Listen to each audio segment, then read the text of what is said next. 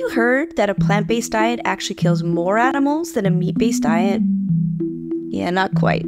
For years, the crop death argument has popped up on podcasts, in the news, and on social media. The idea is that in the harvesting of plant crops, birds and rodents are killed, making so called cruelty free vegan foods not so cruelty free. But is this the big gotcha argument many meat eaters think it is?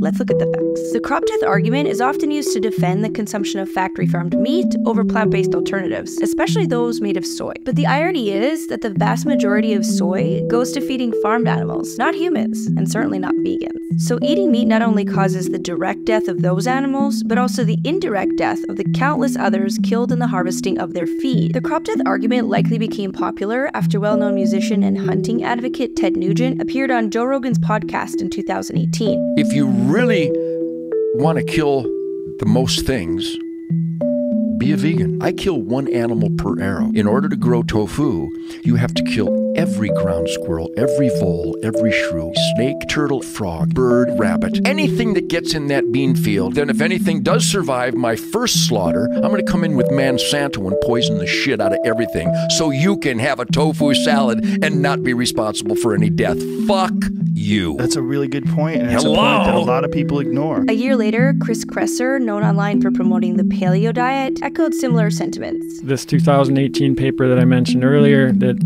examined the impact of plant agriculture on animal deaths and found 35 to 250 mouse deaths per acre and up to 7.3 billion animals killed every year from plant agriculture if you count birds killed by pesticides, fish deaths from fertilizer runoff, plus reptiles and amphibians poisonings from eating toxic insects. There's far more life taken by plant agriculture than there is life taken by animal agriculture. But according to Our World in Data, wild mammals, those Nugent suggests we hunt for food, make up only 4% of the world's biomass, while farmed animals make up 62%. In other words, if everyone swapped their beef for venison at current rates of consumption, wild animals would be totally wiped out.